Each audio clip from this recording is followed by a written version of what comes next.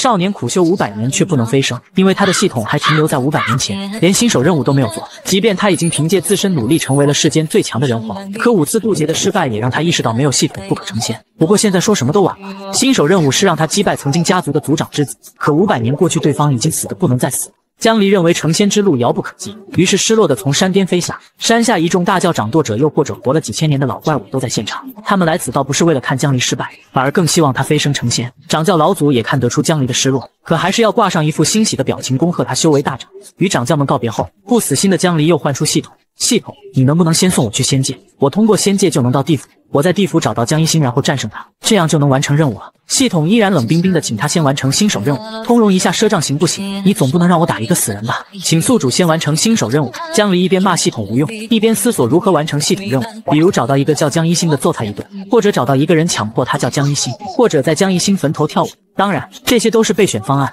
最先选择的方案自然是去老家看看江一星还活着没有。说不定江一星得到几百颗延寿丹，那他能勉强活到今天，或者得到什么奇遇突破到元婴期也说不准。江离当年穿越过来后，便判断待在这个家族有害无利，于是直接离家出走。以现在的眼光看，江一星那所谓全族天赋最好。这辈子最多也就是筑基，筑基期的天寿与凡人无异，为一百四十岁。江离的老家位于大周皇朝一座不起眼的小城，这里的最强者也不过是筑基期。而江离的雕像赫然立在最中央位置，身为人皇的他乃是九州共同的尊者，地位超然，一念即可青山覆海。从最初的无名少年到如今的谁人不识君，江离大老远便能感受到雕像处传来的信仰之力。他立刻用法术隐藏气息来到江家，江家祠堂江一星的供牌赫然陈列在面前。虽然在意料之中，但他还是有些失落。这时，祠堂外一位老人前来祭拜，江离略施法术，一眼便看出他是江一星的后代，不是江一星的儿子，就是江一星的孙子。不知道捶他一顿会算得上江一星头上吗？江离想了想，还是感觉不太可能。突然，他被几道吵闹声打断了思绪，原来是几位丢了孩子的父母来江府要人。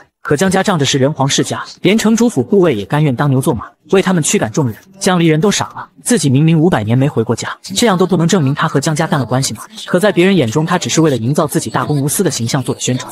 血浓于水的亲情，谁又会相信？当江离询问一名散修那丢孩子是怎么回事，青年男人突然面色大变，令他不要多管此事，因为自己也是路过的修行者，本想帮帮这些可怜人，可一查着实把他吓了一跳。江离见状，直接拿出了道宗令，见此令牌者。如见道宗宗主本人，原来近两百多年，这里时常丢失不到一岁的婴儿。最初青城府还派人装模作样的找孩子，最近两年干脆装都不装了，直接说人手不够不找了。男人大胆猜测这些婴儿是用来修炼魔功的，不过他也没有证据。江离听后，直接飞到青城上空，以自身为中心，神识扩散数万里。然而，就当他以为一切正常时，忽然在江家后院发现了一处空间扭曲，在那片扭曲的空间中走出一位老者，此人正是江离先前遇见的那位。待老者离去后，江离来到这里，轻轻一点，便再次打开空间。一进入空间，刺鼻的血腥味就扑面而来，数百具骸骨堆在山洞两旁，还有两具尸体完整的婴儿。江离眼中泛起一丝杀意，看来五百年没回来一次。确实是他的错。与此同时，江家族长见老者到来，十分惊讶。老祖怎么提前出关了？是否已经迈入化神？老者摇摇头，迈入化神谈何容易？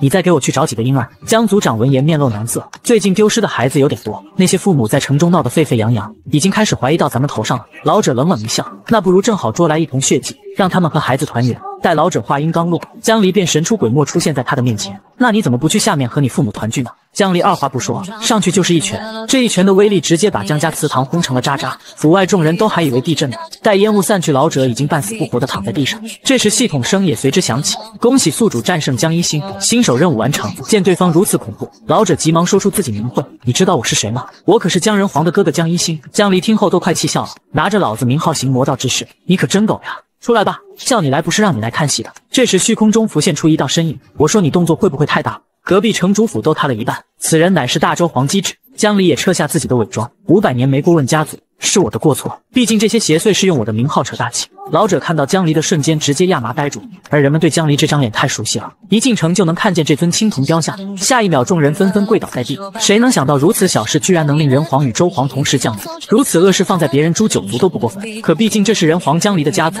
诛九族谁有那个本事？于是周皇姬只决定进入时间长河，看清他的所作所为，再做定夺。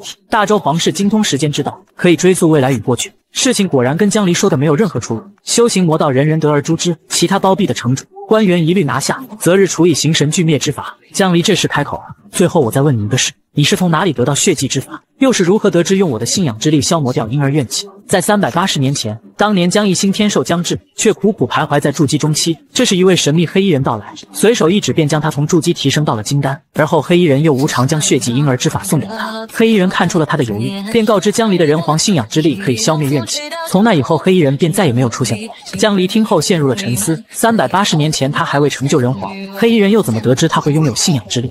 他是世间最强的存在，可唯独不能像正常修士一样飞升成仙，因为他的系统还停留在五百年前。刚刚完成新手任务的江离点开奖励，可奖励给的力量连他现在呼吸一次产生的多都没有。既然是系统给的好东西，那不要也罢，毕竟谁会炼化来历不明的力量？接着他又用两分钟看完其他奖励，结果是又浪费了两分钟。这些无一不是给炼气期用的。江离现在也就盼着系统能让自己真的飞升仙界。新任务发布：加入华云宗后，华云派大长老的孙子云波看你不顺眼，处处刁难你。请你用压倒性的力量战胜他。这家伙江离倒是有点印象。正当他准备前往化云宗时，突然一道通讯符出现在他的面前。此人乃是江离座下第一统领。被打成这副模样，让江离都吓了一跳。他可是知道孔虎有多强，是单用肉体就能和渡劫气抗衡的狠人。九州能把他伤成这样的一巴掌数得过来。江离试探性的问道：“你又和你媳妇吵架了？”虎子摇了摇头：“那是有天魔入侵吗？”虎子再次摇了摇头：“别猜了，江哥。前段时间孟姜黄找到了一个美人，可这孟姜黄也不与那名妃子行男女之事，只是单纯的看着。”而大魏皇朝的魏皇和孟姜皇关系极好，魏皇出关后便好奇的想要看看此人究竟如何貌美，能让孟姜皇至此。可没想到这一看就出事了，魏皇竟然说让孟姜皇把美女让给他，临时功法国土任由孟姜皇挑选。孟姜皇当然不愿意，最后两人甚至动起手来。这还不算完，我去劝说，没想到两人最后还说在战场上见生死。江离是统领九皇的最强人皇，劝阻两个皇朝之间的战争并不是难事。可他有些疑问，五子，你这伤是怎么回事？他们两个应该也打不过你啊。这才是问题所在。人皇殿职责就是维持九州整体稳定。虎子知道魏皇和孟姜皇的约战后，立即赶到想要劝解双方。谁知道他一见那女人，整个魂儿也被勾走了。当时差点想把那女人抢走，情急之下他没有别的办法，只能狠狠地打自己一顿。江离闻言，表情逐渐严肃。系统的任务看来要暂时延后了，我这就过去。江离放下这句话，立即赶往孟姜皇朝。离得老远，他就看到天上激烈的打斗，可怎么看着像是三个人啊？近看其中一人正是虎子，他咆哮着叫道：“美人只配强者拥有。”好家伙，让你来劝战又被迷上了。江离瞬间来到这三人上空，一巴掌把这三个失去理智的家伙拍到头里，随后不留情面的骂道：“幸亏你们神智尚存，知晓战斗不能波及他人。你们要是敢在国都交战，我一巴掌把你们拍到地府去。”虎子不敢说什么，只能嘿嘿傻笑。孟姜黄和魏黄见到江离也赶忙行礼：“能否让我见一见那名奇女子？”江离的要求，孟姜黄自然不敢拒绝。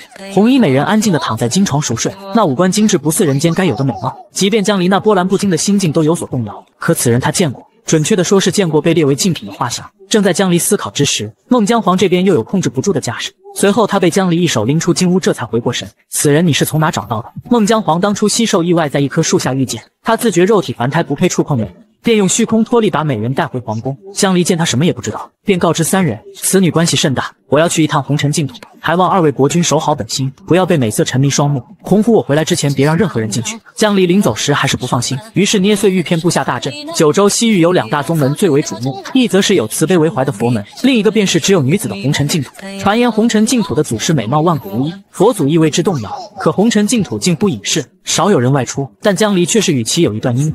雾宗大阵开启，只有两位女子前来，一人满脸厌恶，一人笑脸盈盈。前者便是净土的掌教青玉道姑，而后者则是红尘净土的静心圣女。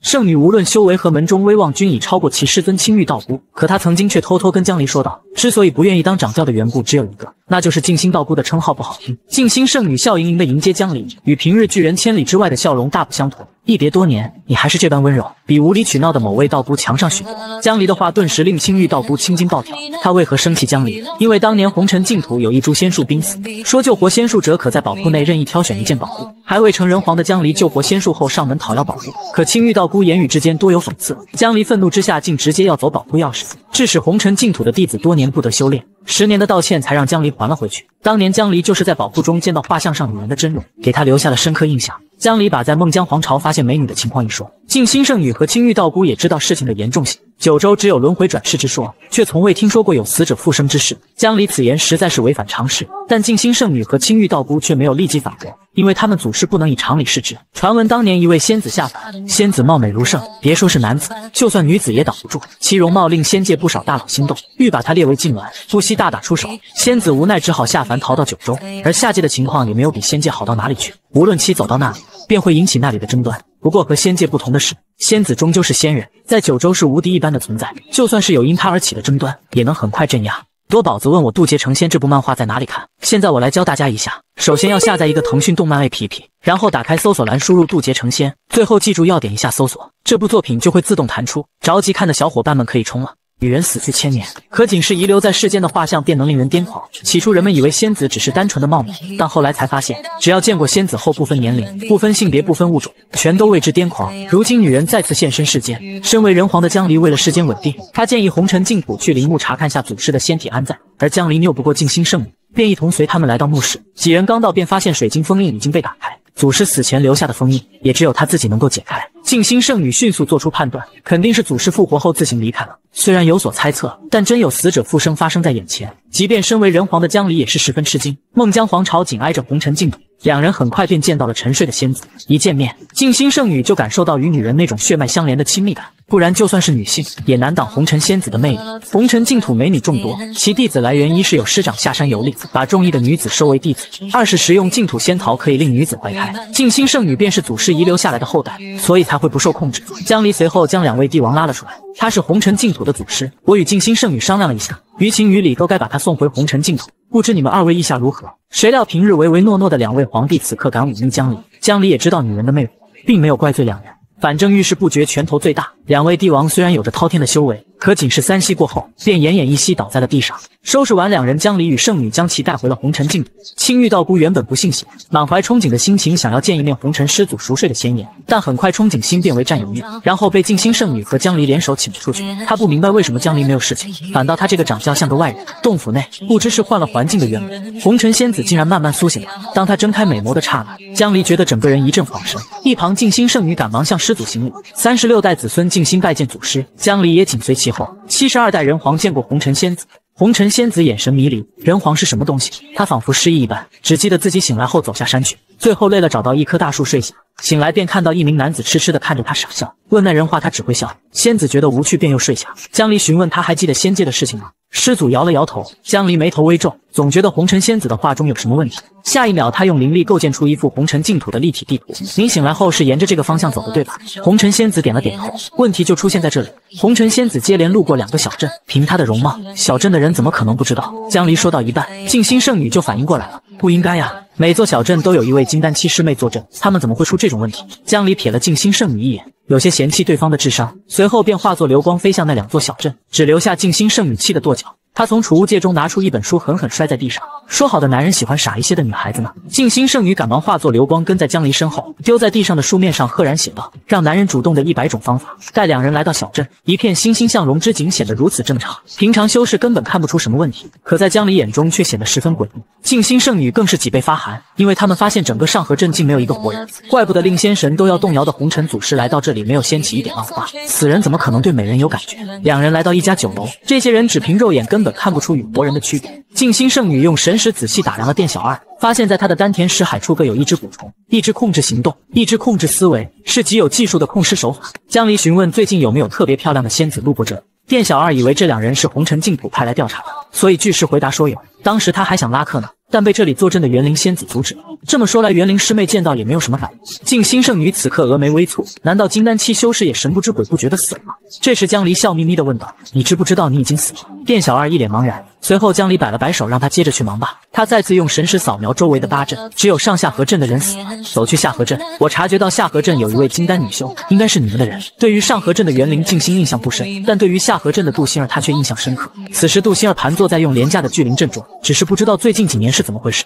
他感觉灵气进去身体多少就出去多少。杜心儿自嘲，觉得自己这种人留在门派也是累赘。这时，一道清脆的声音在他耳边响起：“谁说你是累赘？”此刻，静心眼眶中的泪水在不停打转。几年不见，如今已是阴阳两隔。杜心儿同样是一具会动的尸体，是师姐对不住你。是师姐失职，静心圣女抱住杜心儿，放声痛哭。虽然不知道发生了什么，但杜心儿依旧细声细语地安慰静心圣女。只是杜心儿的话却像一把刀子插入她的心中。片刻后，静心勉强打起精神。这位是现任人皇江离。杜心儿惊叹了一声，因为静心常常在他面前提及过江离。人皇，人皇，听说您上天入地无所不能，可比肩仙人真的吗？江离看向远方，曾经以为他也这么以为，但现在发现自己既不能飞升成仙，亦不能逆转生死，不过是一介凡人罢了。他是世间最强的人皇，即便自身已经超越所有生灵，可因系统的新手任务还停留在五百年前，自己却不能飞升成仙。看着眼前已经死去的女人，他也意识到自己终究不过一介凡人罢了。反正也找不到元灵，江离与圣女两人索性就在下河镇住下，想要陪陪杜仙儿。这几日的光景让杜仙儿觉得自己过得好幸福，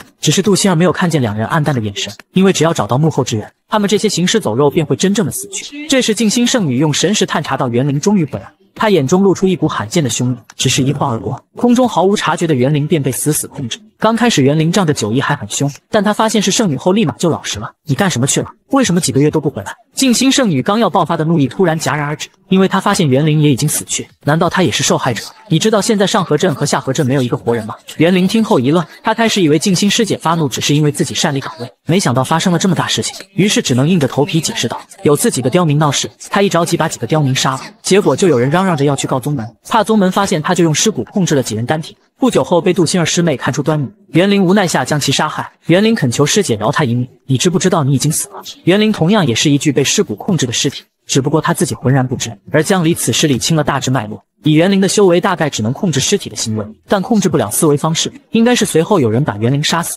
再给所有人了用上石海骨虫，这时静心圣女笑盈盈的让江离离开这里。江离被这个笑搞得有些头皮发麻。片刻后，屋内传来撕心裂肺的嘶吼，最后静心圣女用法术清扫干净现场的鲜血。不过刚出门便听见江离给她的传话，杜心儿那边好像出了问题。两人迅速来到现场，江离指了指一旁的灵米，可静心圣女顺着看去并无什么异常。江离劝她不要用神识去看这一缸灵米，不然心里会承受不住。偏偏江离这么一劝，她反倒是要用神识扫描，这玩意儿竟还能抵抗神识。静心圣女加大神识强度，可当她透过灵米表皮看到其中所隐藏的东西，整个人差点吐了出来。这哪里是一缸灵米，分明是一缸伪装成灵米的蛊虫。看来有人把蛊虫加入灵米，让你们红尘净土的人吃了，就是不知道蛊虫的作用是什么。这时江离的通讯符亮了起来，孔虎查出能练出让死尸行动如常的尸蛊，最起码也要合体期。不过古族长老说，现在古族最厉害的也才元婴期。他们说古树古籍严加看管，外人不可能修炼。不过我试了一下，能轻松偷到古籍，当然现在已经还回去了。江离摊开手心，展示手中的灵米，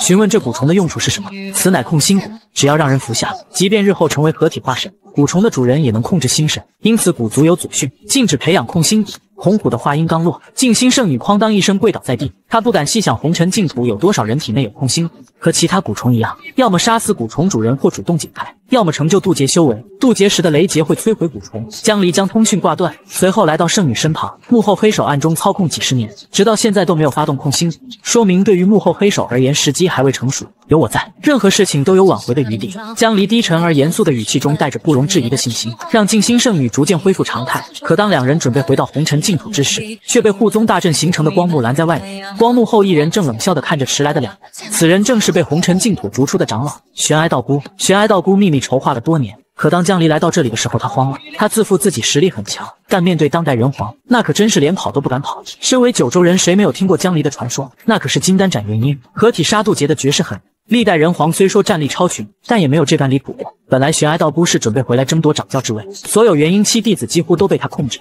就连化神期也控制不少。原本计划着再过些日子就行动，但有一天他突然好奇红尘祖师的传说，好奇心驱使下，他令祖师后人找来了红尘祖师的画像。可当他看见那幅画后，整个人如遭雷击，最后千万思绪最终化为一缕。他要生生世世守在祖师身边。在阴谋被江离识破后，他直接用万千弟子的性命作为筹码，只是轻描淡写之间，其中一名弟子便毫不犹豫地掏出心脏。顷刻间毙命，青玉掌门为了弟子不得不向玄哀道姑低头。江人皇，静心师侄，你们来晚了。玄哀道姑把青玉踩在脚下，一脸嘲讽神色。因为红尘净土的护宗大阵建立万载岁月。从未有人能将其攻破。要知道，这可是红尘师祖从仙界带来的阵法，寻常仙人全力攻击大阵都不会震动一下，更何况江离只是一位肉体凡胎的大成期，又不是什么仙界至尊，哪能比得过仙界大阵？一旁静心圣女看到师尊被人如此侮辱，几十朵绝世青莲于虚空疯狂攻击大阵，剧烈的爆炸热浪将附近夷为平地，但护宗大阵仍旧不受影响。江离见状，上前拍了拍气喘吁吁的静心圣女，换我来。简简单单三个字透露出江离的信心。玄哀道姑仿佛听到很好笑的笑话。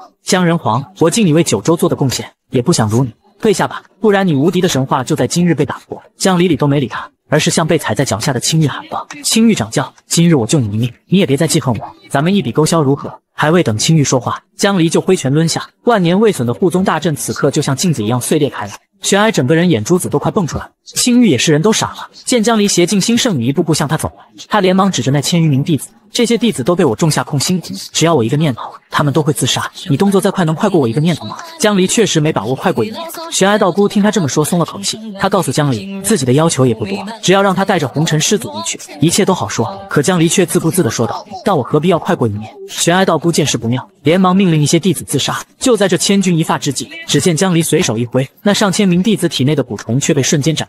那刚准备自杀的弟子立刻不再自杀。玄哀再次人傻了，这特么连剑气都没有砍出来啊！抱歉，我剑法愚钝，只会此一招。江离吓得对方一屁股坐在地上。此招名为心剑，余念中起，于识海中落。玄哀道姑见江离举起长剑，吓得魂飞魄散，连忙要跟江离说明自己的价值。然而江离连听都不听，一剑挥下，杀你就不用什么剑法了。随着这平平无奇的一剑，一切终于尘埃落定。江离原本想让静心圣女自己解决这件事，但奈何此事超出静心圣女独自处理的范畴，便只能自己代劳。多谢江人皇帮红尘净土度过此劫，小女子静心无以为报，只能以身相许。江离见他还能开玩笑，想来道心无碍。随后他走到青玉面前，被人算计到整个宗门差点沦为合欢宗，你们红尘净土长点心吧，此事我会替你们保密，不会外传。青玉真心实意向江离行了大礼。正如江离就他之前所说的，此前恩怨一笔勾销，江人皇往后便是拯救红尘净土的恩人。他是统御九州的最强人皇，却被后辈拍着肩膀扬言罩着他，因系同胞，他只能隐藏身份，从五百年前的新手任务做起，只有这样才能飞升成仙。来这个秘境历练的大多数人都有自家长辈压阵，不过万事总有例外，例如江离旁边这人，此人整个宗门也只有他与师傅两。师傅平日云游四方，他也成了一介散修。见江离也是一人，便前来询问。江离说自己师门只有他辈分最大，所以没有长辈陪同。身为人皇殿殿主，自然是辈分最大的。可在男人看来，江离这话无疑是在说他们师门的长辈已经死光了，只剩下他一人。心生怜悯的秦乱拍着胸脯说道：“兄弟，你放心，看在咱们同病相怜的份上，到了玄妙秘境中，兄弟我罩着你。对了，还没请教兄弟尊姓大名呢？”江离本想着还用张离的名字，可一想到道宗宗主小人得知的样子，他就气得咬牙切齿。于是江离又给自己换了个姓，叫孔离。而秦乱是个闲不住嘴的人，见江离不怎么说话，他就一个人使劲说：“你看那人是忘情宗的，这个宗门的人没有感情，只信手中的一把剑。七杀道子我和他交过手，十局里我只赢了八局。”江离怀疑他在凡尔赛，但没有证据。这时，天空忽然一阵樱花飘过，只见两位身着粉色纱裙的女子飘然落下。这次有人替秦乱喊出了两人来历，是落英缤纷宗的宋颖和他师傅。秦乱再次给江离普及教育，这也是个不好对付的人。我和他交过手，十局里我只赢了六次。少女宋颖刚一落地，就连蹦带跳的跑到秦乱面前。秦乱，咱们又见面了，这次我可不会输给你。说完，他还扬了扬粉嫩的小拳头，但秦乱并不搭理他。反而是提醒江离，孔兄一定要小心宋女，他觉得打不过我，就想用美色乱我道心，心机十分重。江离忍不住问道：“有没有可能是人家真的喜欢你？”谁料秦乱斩钉截铁地说：“绝无可能，因为有一次问他你是不是喜欢我，他说谁会喜欢你这个笨蛋。”本以为秦乱已经够无敌了，谁曾想江离与他半斤八两。两个直男在此刻的想法达成了一致。一旁的宋颖气鼓鼓地瞪着秦乱：“为什么假装看不见我？我要是没看见你。”怎么可能跟孔兄介绍？秦乱说的理直气壮。见两人有吵起来的架势，江离问道：“秦兄，你知道那个人是谁吗？”江离看出此人筑基后期的身体，却有着化神期的灵魂，想必是夺舍来的。果不其然，此人一直资质悟性都很一般，可自从掉落悬崖后，就像开了窍一样，短短半年就从筑基前期修炼到后期。江离点了点头，示意两人可以接着吵了。在两人的吵闹中，玄妙秘境终于开启，能进入玄妙秘境的人数只有八百零五。当个门派共八百名弟子都进入玄妙秘境后，江离作为第八百零一个，不紧不慢地走入秘境入口。一旁的人赶忙劝阻，强行进入秘境会受排斥受伤的。江离有些疑惑，他能感受到一股排斥的力量，像是一个婴儿在推一头大象的感觉。一旁的人直接傻了眼，不禁怀疑刚刚是不是数错了人。进入秘境后，出现在江离眼前的是由灵气凝聚成灵水。江离被这美景吸引。看着头顶的仙鹤，下一秒那仙鹤坠落在地，溪流边也随之升起炊烟。与此同时，不远处传来柔弱的呼救声，只听声音就能想象出声音的主人定是个美丽娇柔的女子。而江离却充耳不闻，继续专心烤肉。侠士救命啊！有人想要非礼我，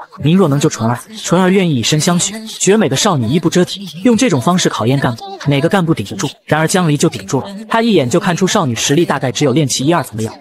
放在九州，这种天赋也算是一级残废了。能让这种人逃走，追他的人实力也不会太高。果然，还未等纯儿再次开口说话，追击的人就已经把两人团团围住。几人还没来得及群起而攻之，便被江离打飞了出去。感谢恩公救命之恩，小女子无以为报，只能以身相许。看着女人眼中满满的爱意，江离也温柔地说道：“下辈子吧。”随后，女人请江离去村庄一座，以此感谢救命之恩。秘境中的灵气比九州的密度高出数倍，也真是难为纯儿。有这么多天才地宝的情况下，还能保持炼气两层半的水平。根据纯儿的描述，江离大致得知这里最强的宗师境也才等于炼气七到九层，有众多美女倒贴。所谓宗师之境，在自己手里撑不过一招，又有海量天才地宝帮助自己升到元婴，做梦都不敢这么想。这些其实对江离没有什么吸引力，不过他大致猜出来秘境想要考验的内容，江离还是按照秘境的意愿行事，决定称霸天下。几天后，江离坐在偌大的皇宫内，无聊的打着哈欠。此地并非久留之地，我要走了。淳儿听后就哭了起来。我知恩公并非此界之人，但我们就没有一点让恩公留念的地方吗？江离实话实说没有，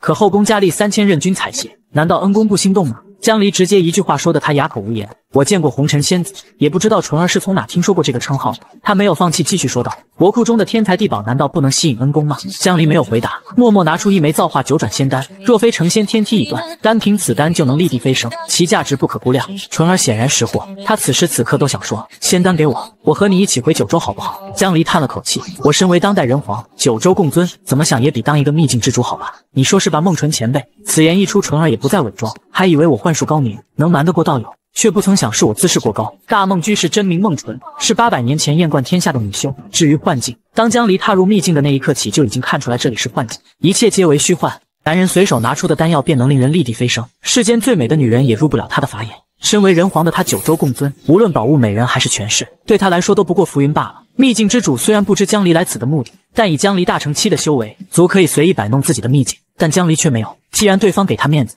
他也就不会过问江离来此的目的。孟纯略带歉意的说道：“不知当代人皇来此，是孟纯失礼了。如今出现在江离面前的，不过是他在渡劫前留下的一道残念。”江离笑了笑：“哪里哪里，是我胡乱闯入秘境，给孟前辈添麻烦了。”见孟纯犹犹豫豫的，江离询问他有什么不妨直言。孟纯说：“曾经也见过自己时代的人皇，算得上是一代英杰，却不似江离这般宛如谪仙，深不可测。难不成您已经飞升了吗？”江离告诉他，并非如此，只是自己渡劫的次数比较多罢了。孟纯闻言，瞳孔猛地微缩。要知道，寻常修士渡劫失败，必然会魂飞魄散，自己也是经历过的。但对面这个男人竟然渡了多次天劫，即便活久见的他也闻所未闻。江离没有在这个话题上说太多。孟前辈这次布置幻境，是想考验小家伙们对美色宝物权势的抵抗力吧？幻境之道的神奇之处在于会让修士自动忽略这些不合理的地方，对幻境越陷越深，最后无法自拔。还没等孟纯说话，这时躺在地上的秦乱发出呜呜的声音，这是要勘破幻境的征兆。幻境中的时间与现实不同，换算下来，秦乱已经在幻境中待了一个月。见有人要醒过来，孟纯微微一笑，道友。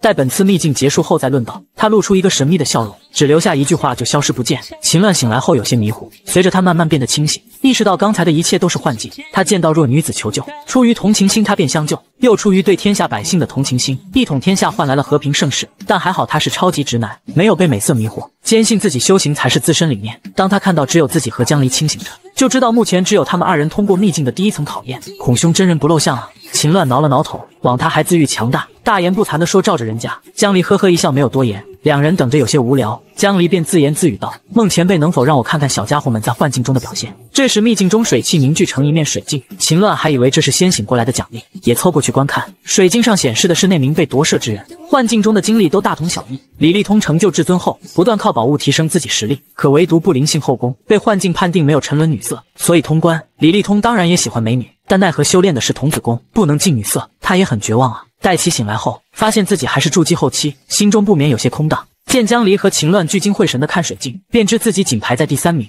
他必须要成为本次秘境考验第一名，因为获得第一名的奖励对他重返化神有很大的帮助。念及这里，他突然面露凶色，随后用血液凝成匕首，直冲江离两人。秦乱发觉后，本能的把江离护在身后。这一刻，他感知到了死亡的降临。可还没等他回过神，江离便一脚将其踹飞了出去。就这种心境也能成为化神，真是不知道走了什么运。这轻飘飘的传音点破了李立通最大的秘密，让他害怕不已，再不敢动弹分毫。看到秦乱震惊的神色，江离告诉他，接下来是宋颖的幻境。秦乱听到是宋颖的幻境，便放下了对江离的好奇。宋颖的幻境和他人不同，他救下来的是只有炼气期的秦乱。之后，宋颖放弃天下，和秦乱隐居山林。幻境判定宋颖抵抗住对权势的诱惑。通关，秦乱人都傻了。这妖女不是想乱我道心吗？为什么她要救自己？为什么她不吃天才地宝？为什么要放弃王权？秦乱没有说话，起身走到远处，他想静静。之后有人陆陆续续的通过幻境，只是时间很长，甚至有人活活老死在幻境中才出来。这时孟纯的声音从天空传来：前一百人可以进入下一层，其他人挑战失败离开幻境。孟纯也不管排名靠后之人的意义，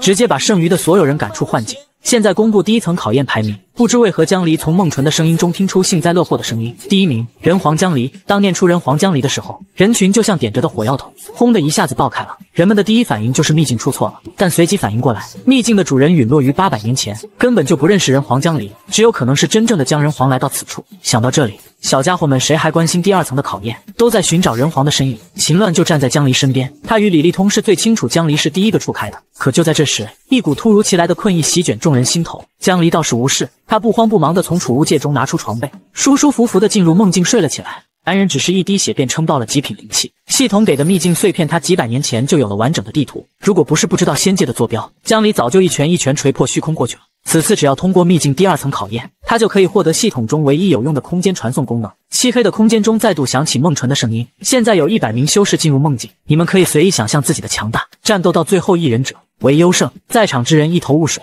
可有人隐隐约约知道孟纯的意思，于是用手托起远处的大山，那座大山居然真的被他举了起来。旁人看到这一幕也明白了，你有多强，全在于你的想象。有人把自己想象成金丹修士，居然自己真的成为了金丹修士；有人直接成为元婴，有人摇身一变，变成身长不知几千里的大鹏。实力强弱全凭想象力丰富。此时此刻的战斗不亚于一场劫难，霎时间场面乱作一团，众人玩得不亦乐乎，连江离是人皇的事情都忘在脑后了。看到小家伙们打得如此花里胡哨，江离陷入沉思。他想着自己的战斗方式是不是太过平淡了，每次就是一拳锤过去，要不自己也搞点花样。一旁的七杀道子最喜欢劫天七杀杯，常搜集相关传说，因此他想象出来的劫天七杀杯具有极大威能。想象力也是基于自身认知。此刻众人中唯有秦乱没有胡思乱想，他只是不断思考什么样的金丹才是最适合自己的。单凭这一点，他就要超过在场所有人。秦乱见李富贵如此，便嘲笑起来：“李富贵，你充什么大头蒜？真以为自己是七杀道人了？”七杀道子听到秦乱还用俗名称呼自己，不禁大怒。他随意挥出一道杀气剑影，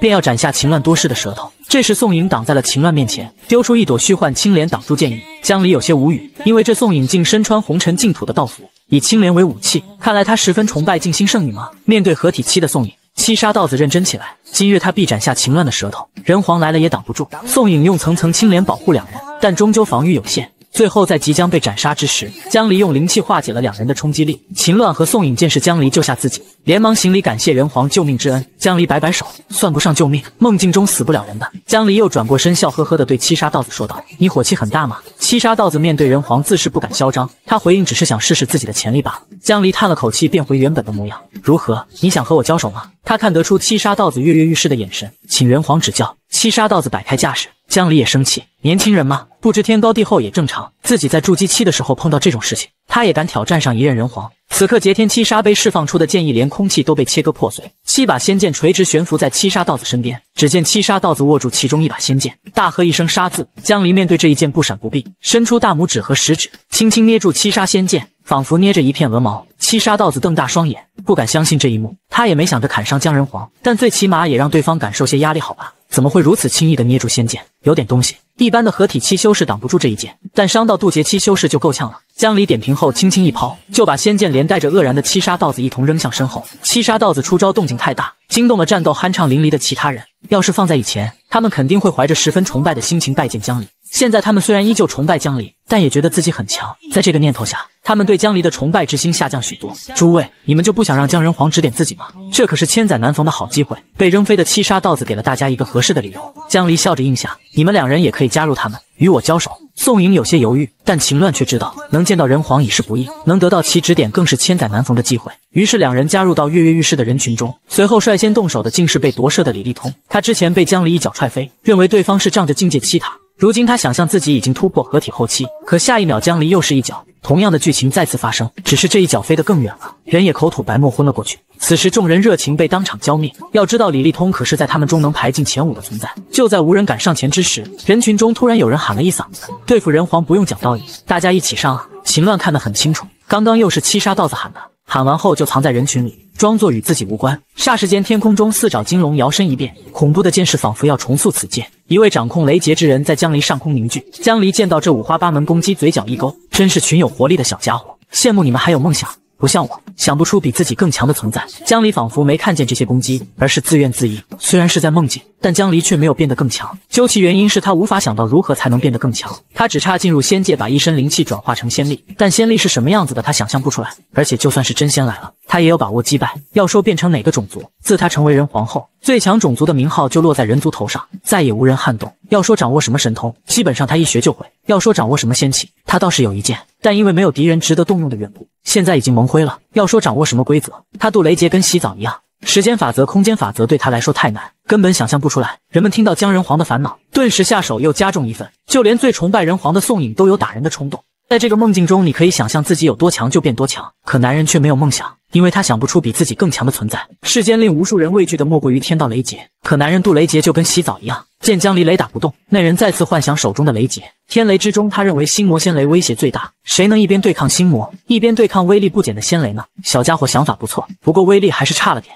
江离一眼就看出这是何种雷劫，他一把将掌控雷劫之人擒来，两人一同处在心魔仙雷范围之中。修仙界体律，雷劫只能一人渡，人越多，雷劫威力越大。掌控雷劫之人一脸骇然。下一秒，他发现自己竟无法控制雷劫，可心魔天雷的威力却开始不可遏制的膨胀，落雷之声回荡整个空间，就连听到雷声的人都在瑟瑟发抖。可江离面对这恐怖的雷劫，竟打起了哈欠。躲在幕后看热闹的孟纯也都吓了一跳。此刻他一人抗下双倍雷劫，只让掌控雷劫的后辈面对心魔。可过了会，江离吧唧了下嘴巴，觉得这雷劫不够劲。此人能想象的最强雷劫，对他来也说不过二。江离又把一脸懵逼的秦乱也拉了过来。雷劫之力提升四倍，秦乱慌了一下，很快就定了定神。他相信江人皇只是让他面对心魔，而不是面对恐怖的落雷。江离一人抗下四倍雷劫，没多久还是觉得差了点意思。可他并没有接着拉人进来，因为不能自己想让雷杰按摩就摧残九州的花朵。江离觉得自己蛮有大局观的。就在这时，掌控雷杰之人因为面对心魔束手无策，身体在不断颤抖。江离一巴掌打在他的后脑勺上，直接把他从心魔中拉出来。小家伙就知道让别人对抗心魔，自己面对心魔怎么这么没用？那人好不容易从面对心魔的恐惧中回过神来，听到江离如此说，便忍不住问道：“江人皇，您为何没有陷入心魔当中呢？要知道心魔不可回避，没有任何化解之法，就算是仙人也不能例外。”江离想了想，解释道：“大概是我之前把心魔做怕了，心魔现在不敢出来见我了吧？”此话一出，那人彻底傻眼了，让心魔害怕，到底人家是心魔还是你是心魔的心魔？那人临走前还十分羡慕地瞥了一眼还在对抗心魔的秦乱，片刻后，秦乱竟然直接破解心魔，让一旁观看的人很是惊讶。江离也忍不住询问他的心魔是什么。小时候，秦乱的师傅常常把他一个人丢在罐里，罐里黑漆漆的，像是闹鬼，他就害怕。江离还以为他的心魔是鬼魂，谁料下一秒，秦乱说道：“我的心魔是师傅元五行，刚才心魔化作他的模样，我把他狠狠打了一顿。”江离闻言心里直呼：“好家伙！”袁天行就是当初他在江家偶遇的那个散修，没想到你师傅当初拉住我，在秘境入口，你又拉住我，你们师徒俩就会找我是吗？这时孟纯声音响起，意味着本次秘境将要关闭，奖励也依次结算。众人连忙对江离鞠躬行礼，谢人皇指点，我等必将铭记于心，能得到一次人皇指点。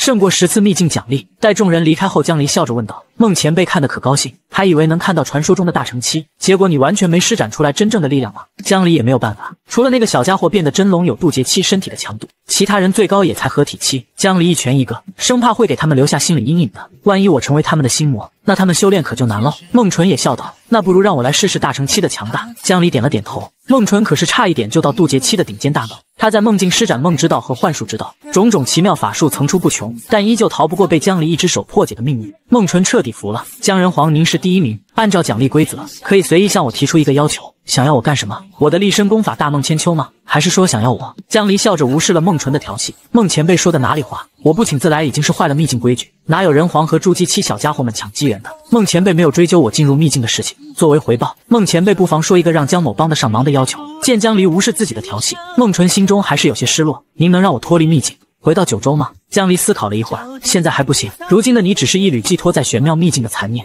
必须要集齐三魂七魄才能脱离秘境。可孟前辈的残念是我所见得过的残念中神智最为清楚的。据我推断，只要再保持这个状态两百年，就能于虚无中诞生灵魂，成为独立于大梦居士的新生命。江离说的十分笃定，让孟纯心生希望。两百年后，我来为你护道。与孟纯做好约定后，江离便飘然离开了玄妙秘境。此时，秘境门口听到许多人炫耀自己收到人皇指点。有意思的是，元武行也来了。自从和江离分别别后，他用了两个月时间巩固修为。闭关结束后，听说自家的关门大弟子秦乱来到玄妙秘境，他生怕被别的门派欺负，连忙赶过来撑门面。小乱，我跟你说，我在青城见到江人皇了。师傅，我跟你说，我在秘境见到江人皇了。师徒俩一见面就相互炫耀，异口同声的说着相似的句子。场面一度十分尴尬。看来我与二位很有缘分啊。这时江离也现身，跟师徒俩打了声招呼：“我来这里没什么事，也就跟你说一声，好好对你的徒儿，别让你成为他的心魔。”江离拱完火，立刻就飞走了。几天后，宋颖兴冲冲地跑到清风关的时候，发现大门紧闭，上面贴了份告示：师徒二人游历九州，归期未定。而一边江离的任务奖励也已经完成。就算江离见过大风大浪，一想到马上就能进入仙界，便难以压抑心中的激动。用这个坑爹系统的初衷，不就是为了使用空间传送功能去仙界吗？少年成为世间至强，却不能飞升，因为他的系统还停留在五百年前。如今江离终于完成新手任务，一想到马上要进入仙界，饶是见多识广的他也不由有些激动。此时，一道系统声音在他耳边响起：“开启原点读书功能，宿主可以通过消耗原点记住书中所有内容。消耗的原点与内容的晦涩程度相关。这个功能貌似还算有点用处。”不算全废，可最需要的还是空间传送功能。未等系统把话说完，江离大喝一声，说出了他有史以来一直未完成的心愿：把我传送到仙界。可接下来系统的回答不由得让他怀疑是不是自己耳朵出了问题，请宿主提供仙界坐标。江离顿时感觉到一阵无语，我特么要是知道仙界坐标，自己早就撕裂虚空过去了，还用得着你啊？江离气得咬牙切齿。自从他获得这个系统以后，就没有从这里获得过一样有用的道具或功能。商城里的东西还没有自己这里全，毫无用处的地图碎片，自己一滴血就撑爆的极品灵气等等，就这也配叫逆袭系统？一怒之下，江离打出一拳，下一秒空间直接裂出一个大口子，里面黑洞洞的，不知距离另一处世界有多远。他百年前就委托须弥山老佛寻找仙界坐标，因为他能横渡虚空，虚空中的罡风乱流之类的对他而言根本算不上威胁。江离之所以一直不敢轻易尝试横渡虚空，是担心自己迷失了方向，到时候仙界找不到，九州也回不来，那可就惨了。就在这时，系统声音再次响起。检测到未知世界是否进行传送？突如其来的系统提示音让江离一愣。要知道，仙界统御的世界恒河沙数，在每一个世界都建立了成仙天梯，只要每个世界的人达到成仙的标准，就能成仙。反应过来的江离指了指那空间裂缝，难道说对面有其他世界？系统很快便给予了他肯定的回答。考虑到系统的坑爹属性，江离再次问道：“那去了还能传送回来吗？倘若自己真是回不来了，便只能学习鲁滨逊写一本人黄漂流记了。”系统已经记住九州世界坐标，并告诉他可以传送回来。江离大喜过望。那还等什么？传送！可下一秒，系统却告诉他原点不足，无法传送。江离强忍着心中怒气，那你说该如何获取原点？宿主可以通过做任务或者出售商品获得原点，本系统将会以商城三分之一的价格收购原点。真是奸商啊！人但凡有点良心也说不出这种话。为了飞升，江离只好应声附和。这时，系统发布原点任务：去首阳山挖出两百斤首阳石。对于别人或许困难，但对江离来说，这不过就是手到擒来的事情。他来到上空，直接把整个首阳山脉连根挖出。恭喜宿主完成原点任务，奖励宿主五十原点。可传送到刚才的世界还需要五万六千八百元点。江离握了握拳头，他保证这鬼系统要是能化形，他第一个打残他。看来只能用卖东西换原点了。江离翻了翻系统商城，竟是些垃圾东西。于是他当场写出了一部残阳勾心功，把这本功法一卖，直接得到一万多元点。早这样不就得了，还害得我去搬山。随后他又奋笔疾书，写出了几部令世间为之疯狂的功法，把这些卖给系统，一下子多出来十一万多元点。这回系统真的可以传送了。江离周围的空间开始扭曲，逐渐和另一处世界形成通道。以江离的眼光，一眼就看出来系统的空间是高明到连自己都看不懂的手段。实际上，他对空间之道一窍不通。来到未知世界，江离微微皱眉，这里灵气稀薄的令人发指。一望无际的荒漠上。江离任由风暴吹打自己的护身屏障，他感受到这个世界的重力和九州相同。随后又抓起一把粗沙，物质构造也大同小异，只是为什么灵气如此稀薄？江离用神识扫过去，连一个人影都找不到，只能看到一群似狼似豹的野兽拱地。他们似乎饿极了，开始吃起沙子。而这群野兽同时也发现了江离，他们下意识就要冲过来。不过江离仅一个念头就把这群野兽统统禁锢。在经过一番探查后，他终于明白那群灰色野兽为何以沙子为食，因为这个世界只有两种东西：野兽和沙子。别说人了。就连其他物种都没有。要是系统告诉他这里是地狱，他八成会相信。江离失望的离开了这里。对于能随手丢出强大功法的江离来说，原点对于他来说就像是开着门的金库，想要多少就能要多少。他又接连打碎了几片虚空，可结果却没有探查出新世界。看来刚刚只是运气好罢了。就在这时，江离通讯符突然震动起来。江哥。你让我调查的事情有结果了。曾经的人皇后选都说自己这边没人见过黑衣人。江离想不明白，为什么黑衣人就能肯定自己能当上人皇？那你去天机楼发个委托，他们路子野，让他们查查三百八十年前是谁传授给江一星魔道修炼法的。几分钟后，系统又发布新的任务：大周皇室学院即将开始招生。你并不是四大书院出身，你被书院学子嘲笑，请你在大周皇室学院的考试中考到第一名。任务奖励一滴真龙血，一枚妖兽化形丹。开启特殊任务：仙界迷踪。真龙血、妖兽化形丹被江离自动忽略。那仙界迷踪是什么？未开启任务，宿主无权知道。虽然这系统一如既往的坑爹，但也没说过假话。大周皇室学院还真是有段时间没去过了。男人身为当世无敌的最强人皇，就连如何修仙的参考书都是由他出版，却没想自己考自己写的书竟成了倒数第一。为了完成系统的新手任务，江离被迫以学员身份前往书院，想要拿到考试第一名。系统前一个任务奖励是开启原点读书功能，下一个任务就是入学考试。很明显就是让用这个新功能读书考第一。但江离觉得这简直就是在侮辱他，因为五百年前江离没靠系统就能在大周皇室学院的入学考试拿第一名，五百年过去更是成为最强人皇，眼界何其之广。应付一个小小的入学考试，岂不是手到擒来？但凡用一下系统，江离都感觉是对自己智商的侮辱。江离背着手四处溜达，一副悠然自得的模样，与周围紧张的学习气氛格格不入。有人看不惯江离的模样，刚想冷嘲热讽两句，就被一旁的同伴拉住了：“你读书读傻了吧？这种人一看就是胸有成竹。你看咱们书院里那些考试前几名的人，哪个不是看起来不怎么努力，结果一出来就是第一？”想要嘲讽的那人顿时反应过来：“好险，好险，差点就被打脸了。”这些人有的人关心考试，有的人关心美女。新来的考生中有个叫江静心，那绝对是世间罕有的美人，见过一面能让人一生难忘。江离路过这里，恰巧听到几人的对话，总感觉这个名字透露着一股离谱的气息。果不其然，神识探查后，竟真的是静心圣女。江离看着眼前连样貌都不换的静心圣女，有些意外。意外的偶遇让静心圣女也十分开心。江离知名度太高，九州到处都是她的雕像，所以每次都需要隐藏一下身份。而静心圣女只在几百年前下山历练过几次，认识她的人极少。所以你就是江静心。静心圣女红着脸小声嗯了一声，这个名字自然是有私心，但谁能想到在这里还能见到江离？那你现在叫什么？孔离，孔融让梨的孔离。静心圣女觉得自己要做一名聪慧的女孩子，这样才能让心仪的男人喜欢，所以就没有问后面那句话的孔融让梨是什么意思。江离不能理解大周皇室学院有什么值得红尘净土圣女学习的地方。身为女孩子，当然不会说出自己的目的。之前门派变故导致的她心情不太好，便想来江离待过的地方看看，没想到直接在这里见到江离本人了。他看着同样来参加入学考试的孔离同学，笑而不语。江离只能以回忆童年为理由搪塞过去。我记着你是二十岁进入学院的，孔离同学童年很长吗？静心圣女扑哧一笑，也不再为难江离。既然咱们都来参加考试，不如比一比，看看谁才能得第一名。江离也来了兴趣，两个人打赌，输的那人要答应赢的那人一个条件。两人亲密的击掌，让前来偷看的几名男生极为羡慕。说起来，红尘仙子醒过来了吗？静心告诉江离醒过几次，但还是睡的时间比醒的长。祖师醒来以后也不怎么说话，就是在仙桃树停留的时间很长。江离已经跟孟姜皇和魏皇打过招呼了，随后又再次嘱咐静心，可千万要把红尘仙子的事情保密。这要是透露出什么消息，指不定当年哪个见过红尘仙子的老家伙就要冲进红尘净土。静心当然明白，但祖师真的要想跑出去，世间恐怕除了江离，没人能拦得住。两人在男同胞们羡慕的视线中走远。咱们要不要去请天杀阁的杀手？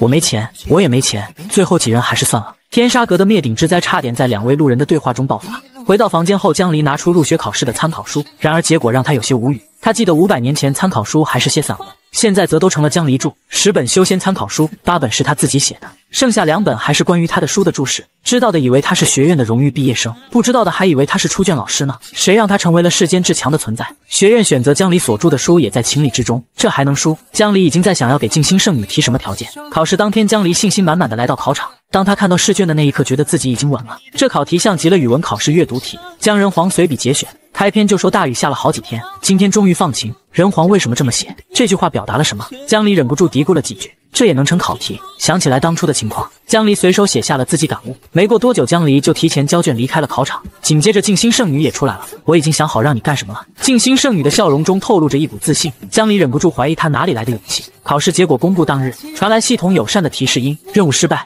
江离愣愣地站在考生排名榜单前，蹲着才能看到自己的名字。孔离倒数第一。静心圣女在人群中鹤立鸡群，她也看到了自己榜首的名字。这时，静心圣女轻掩小嘴，浑身颤抖。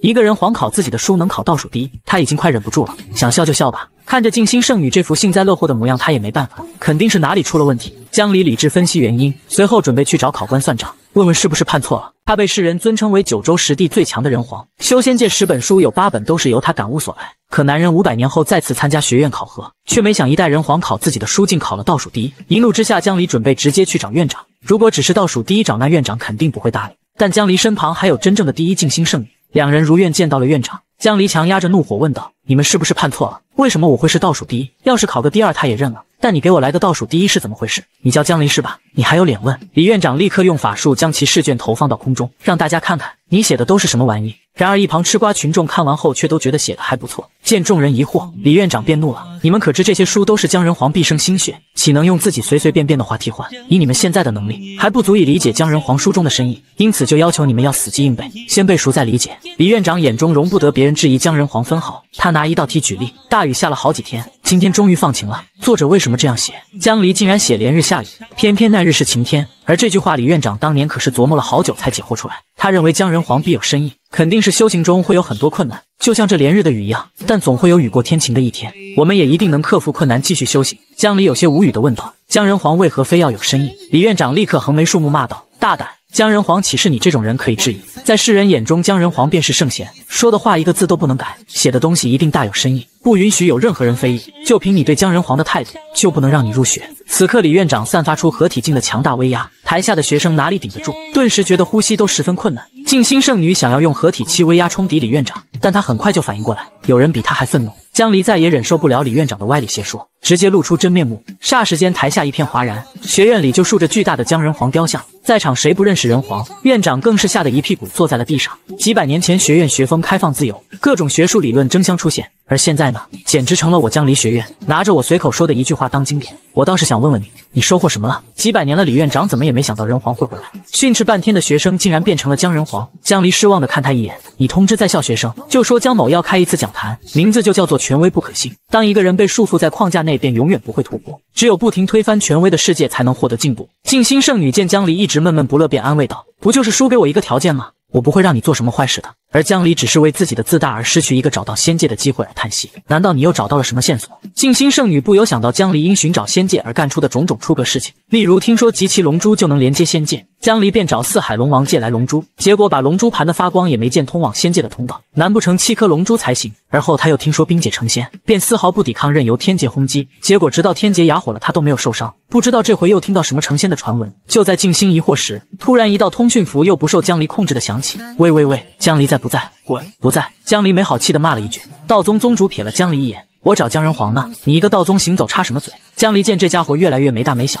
便教育道：你要是还想让我去你们道宗的仙气鉴赏大会，就最好对我恭敬点。此话一出，道宗宗主立即换上一副谄媚的脸。江哥瞧您说的，我这不是特意来通知您来了吗？据我推测，阴阳天印再有二十天就能自炼一转。您代表人皇殿，静心圣女代表红尘净土，您看如何？江离就知道这小子不是吃亏的主。临走之时，发现他果然把手背在后面竖着一根中指，因为阴阳天印自恋一转，这可是几千年都碰不到的事情。道宗宗主不愁江离不来，还有十几天时间，你准备怎么去道宗？静心圣女好不容易见到江离，自然不会傻乎乎的说飞过去。别说江离全力飞行，就算是他也只用半天就能到道宗。坐非洲过去吧。好久没过坐非洲，江离点点头。好，那我先飞过去了。钢铁直男差点把圣女气昏过去。我一介弱女子一人乘飞舟，你就不担心我遇到什么危险吗？江离想了半天也没想明白，堂堂合体后期和弱女子有什么关系？至于遇到危险，大概也只有域外天魔能威胁到他了。看来他是担心自己遇到域外天魔的袭击。江离对静心圣女的谨慎很欣慰，虽然静心圣女担心的事情微乎其微，但江离也不忍心把他好不容易才有的谨慎之心掐灭，也就同意和他一起乘非洲。两人伪装身份后坐上非洲，途经号称土匪皇朝的白泽皇朝，因为现任的白泽皇是白泽和麒麟的混血，而妖兽只认精纯的血统。八位妖王不服白泽皇，便各自划出一片地。如今沦为土匪窝也不足为奇。非洲经过时一声鹰鸣，从非洲下方传来，可还没等鹰妖装逼，便被干翻在地。而出手者并不是江离，是一位叫物质的佛子。据说物质乃是佛陀转世，一出生就把一座小镇化为佛土，就连他的父母也顶礼膜拜，皈依佛门。须弥老佛听后立即赶来，将其收为关门弟子，又钦定其为佛子。也正是因为他是佛陀转世，十四岁就已经成就了元婴。要知道，江离在十四岁的时候可还没穿越过来。十四岁的少年一出生就把整座小镇化为佛土，就连他的父母也顶礼膜拜。身为人皇的江离一眼就看出物质佛子的灵魂异常强大，虽然还是元婴期的灵魂，但灵魂却有万千劫难磨练的痕迹。要知道，一般人轮回转世，灵魂便会痕迹全消，成为新人。这小和尚只可能是前世过于强大，从而影响到今生。这时，江离似乎想到了什么，于是面色古怪的对静心说道：“这小和尚极有可能是你师公。”此话一出，静心圣女人都傻了。江离疑惑地问道：“你师父青玉道姑的事情，你不知道吗？”见静心圣女一时半会儿接受不了这则消息，江离也没再多说什么。因为即便身为人皇的他，对转世也不太明白。自己活了五百年都没搞清楚自己是穿越还是觉醒了前世记忆。但这个小和尚应该是那人没错，而佛子身旁的那名儒生名叫王辩，则是儒宗行走。虽然年纪不大，却已经是七个国家的国师，就连化神期的儒生都要向他请教儒道问题。两人跟江离一样。都是要去仙气鉴赏大会开开眼界。面对阴妖来袭，两人几乎异口同声说道：“阴施主，请放下屠刀，立地成佛。烧杀抢掠并非君子所为。”可鹰妖对两人的劝说充耳不闻，你们两人的教化只能对金丹以下的有用。老子可是元婴境大妖。两人共同叹了口气。小和尚从怀中拿出佛门至宝梵天塔，下一秒狠狠砸向鹰妖。这梵天塔不过巴掌大小，可鹰妖仅是被擦到个边就被撞到吐血。而王辩则抛出一张字帖，字帖上写着一个“定”字。阴妖还没反应过来就被抓住了。王辩有些为难的说道：“这老动用武力也不利于心境。”听得阴妖欲哭无泪。那你别动我啊！物质小和尚也同样为难，对方不听劝能怎么办？要不咱们再劝劝他？于是两人把定起来的阴妖放在面前，一人在左侧念经，一人在右侧讲人。此时阴妖受两人摧残，他感觉自己时而一心向佛，时而一身正气，精神都快分裂了。这特么到底是佛门儒教还是邪教？有这么强行改变别人思想的吗？而传客中有人见识不凡，认出物质佛子和王辩方才所用的宝物，难不成是仿制的梵天塔和大儒字帖？梵天塔乃是佛门的镇脉至宝，就算是渡劫期修士也不敢硬接。更有传言说其有破开空间之能。而大儒字帖虽不及梵天塔的地位，却也是儒教持有的正儿八经的仙器。在九州把宝物分为四重，一重是灵器，基本上每个筑基修士都能人手一件；二重是法器，元婴修士轻半数家产也能买得起。三重是道器，几乎只有皇室与合体境修士才能拿得出来。四重自然是仙器，九州之中无人可以锻造仙器。现有的仙器，除去阴阳天印是道祖在飞升之前炼制的，其余都是曾经的仙人从仙界带到九州的，只有寥寥几件。而仙器中最出名的，自然就是道宗的阴阳天印、佛门的梵天塔以及儒教的大儒字帖。所有人都认为佛门和儒教是不会让自家小辈带出来的，只是给了他们仿品护身。而静心圣女却十分疑惑，因为她也有一件道器，名为十二品青莲，所以她对道器还是比较了解的。他总觉得梵天塔不像是道器，他把目光投向江离寻求解答。江离点了点头，你没看错，这梵天塔是真正的梵天塔。没想到须弥老佛这么重视这个新佛子，连这种东西都敢让他带出来。其实船客们也只是从常识考虑。随后江离叹了口气，怎么现在年纪轻轻的人就这么依赖宝物？不只是这两人，几乎所有修士一样。倾家荡产也要买一件宝物。静心圣女支支吾吾辩解道：“那是因为宝物真的很好用，你哪能要求大家都像你一样，把仙气放到蒙灰都不用？”江离还想说些什么，但看静心圣女委屈巴巴的样子，没再说下去。就在两人聊天之时，突然发现船客们已经分为了两队，一堆在物质佛子身后的人，他们觉得此生罪恶，竟要把钱财拿出来供给佛子，求来是投个好胎；另一堆在王辩身后，他们对家国情怀有更深一层的体悟，发誓回去后一定要为国家或宗门鞠躬尽瘁，死而后已。静心圣女从没见过这种情况，觉得有些恐怖。在她印象中，佛门和儒教没这么邪门啊，还强制洗脑。佛门和儒家究竟谁的教化更胜一筹？一位转世佛子，一位道宗行走，两人为了暗自较量谁先把大妖感化，竟不知不觉将周围的普通人全部洗脑。而静心圣女从没见过这种情况，她认为强行改变别人思想与要挟无异。好在江离见多识广。知道这在佛门和儒教是常有的事情，不过还是要管一管。如果法偏正统，就有可能入魔。曾经就有一位佛门高僧沉浸在经文中，边走边朗读经文，结果一不小心洗脑一个小镇的信徒。高僧最后走在东海海面上，那群人也跟在后面，但因为不会游泳，都被淹死在东海。高僧知道自己铸成大错，最后坠入了魔道。一个人总要有信仰的，可是太过就不是什么好事了。当初须弥老佛不忍出手。只好请人黄江离帮忙诛杀。这名高僧就是上一任佛子，也是青玉道姑曾经暗恋的人。江离并没有看到静心圣女震惊的表情，随即他快步来到两人面前，在他们脑瓜顶一人来了一记手刀，两个小蠢货路走偏了，再走下去就要入魔了。此刻物质佛子和王便幡然醒悟，当看到身后的两拨人群，顿时心生愧疚，连忙散去法力，让这些人恢复正常。随后两人恭敬地向江离表示感谢。请问阁下是？当江离二字脱口。物质佛子和王辩瞬间瞪大眼睛，阴妖更是快把眼珠子都瞪出来了。老子就是心血来潮打个结，怎么碰见佛子和儒教行走不说，连江人皇都能碰上？物质佛子和王辩直接行大礼，比见到自己的师傅都要恭敬。作为九州最强者，江离可以说是所有年轻一辈的偶像。还好江离把声音屏蔽，不然怕是又要引起一番轰动。江离用长辈的口吻训斥这两个小辈：“你们那就知道斗法，差点就把自己陷进去了。”刚才威风凛凛的两人连忙承认错误。见两人认错，江离也不再多说什么。怎么你们宗门只让两个小辈去参加道宗的仙气鉴赏大会？你们的师傅呢？物质佛子告诉他，师傅正参悟空间之道，处在关键时期，不能分神，便让他来了。而王便犹豫了一下，还是硬着头皮说道：“我师傅说他看见道宗宗主就来气，所以就让我带他去了。”这时江离突然想到那个有趣的故事：当时儒教教主支持性善论，费尽心思把一个国家的人教导成人人君子。拾金不昧。可道宗宗主却认为人性贪婪，于是就掏出一大把极品灵石丢在路边。原本那些彬彬有礼的君子果然开始哄抢，气得儒教教主脸色铁青。王便随后小声的说道：“其实我师傅他也想见见仙气自恋，我只是表面代表他去，暗地里他自己已经偷着去了。”江离直接无语到翻白眼：“你师傅不怕他那颗浩然正气的道心崩开吗？”十多日后，非洲终于在道宗附近降落，几人一下非洲就收到道宗宗主亲切的接待。旁边还站着一脸羞耻的儒教教主，看来是被抓住了。王便此刻脸色通红，他只想待在非洲不下去了。我代表道宗上下欢迎江人皇来道宗参加仙气鉴赏大会。道宗宗主大笑着给江离来了个拥抱，江离也笑着轻轻拍打他的后背。道宗宗主强忍着一脸微笑不喊疼，随后他又调侃了静心圣女。多年未见，你还是与江人皇这么亲密。静心圣女努力抿嘴微笑，差点没当场动手。在回大殿的途中，江离询问他九州护界大阵研究的怎么样了。白宏图苦着个脸抱怨道：“一来就问这种糟心的问题，为了研究护界大阵，我头发都快掉光了。”江离笑着说道：“那好办呀，渡劫期都能滴血重生，要不我帮你打的只剩下一滴血，让你重生头发不就长出来了？”特么地主都没你狠！白宏图骂骂咧咧告诉他，已经把护界大阵研究出来了，现在就差一件仙器当阵眼。九州护界大阵是江离很早之前的构想，因为域外天魔是从其他世界过来，九州每百年都会受到袭击，而且每次几乎都是灭顶之灾，历代人皇首当其冲，拼命厮杀，少有善终的。这种情况直到江离出现，才彻底逆转了这个局势。可江离怕自己离开后又如曾经一样，所以想为后世留下护界大阵。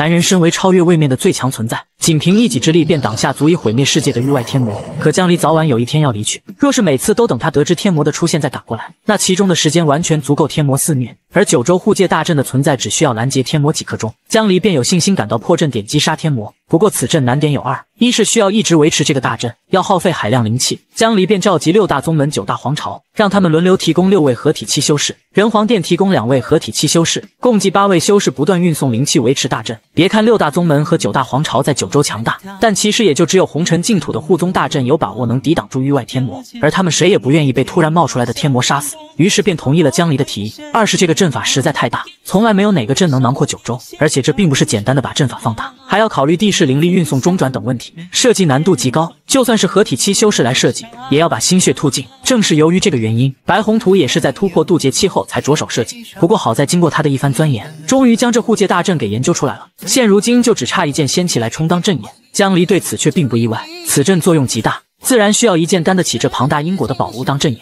白宏图之前也曾问过长存祖师，经过点拨，他才知晓阴阳天印沟通天地，有起灵点化之能，最适合当阵眼。闻言，江离灵机一动，长存仙翁，他可还安好？白宏图小手一摆，自然安好。我看长存祖师精神的样子，可能我老死了，他都还活着。闻言，江离便决定前去拜访。而静心圣女在听到老者的名号时，也是颇为神往，于是便决定跟随江离一同前往。闻言，白宏图嘻嘻一笑。反正长存师祖喜欢热闹，他巴不得人多一些。我还要为仙气鉴赏大会做些准备，你们自己去吧。在去风脊洞的路上，静心圣女率先问道：“长存仙翁真的是九州年龄最大的人吗？真的是仙人吗？”江离很快便给了他肯定的回答：“确实是仙人。至于年龄问题，这就要看你们红尘师祖到底多大了。除去不确定的红尘仙子，他确实是最老的人。我怀疑他是道祖的徒弟，但他一直不承认。还没有成为人皇之时，江离就多次向长存仙翁请教问题，对这位老人家十分敬重。静心圣女微微惊讶。如果真是道祖的徒弟，那最起码也是五万年前的人。如果是真的，那长存仙翁可还真如他的名号一样，长存久世，